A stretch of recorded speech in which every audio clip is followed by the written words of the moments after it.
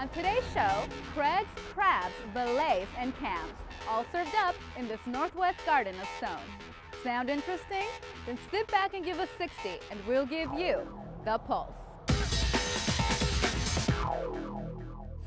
What up, Seattle? It's Blanca, and today we're at Stone Garden in Ballard, where climbing your way to the top becomes an exercise in personal achievement, not corporate politics.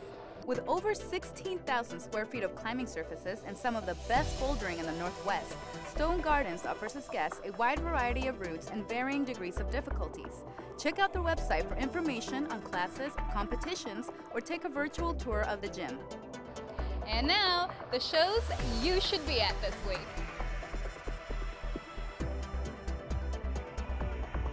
From Stone Gardens in Ballard, I'm Blanca, and this has been The Pulse, sponsored by Geico.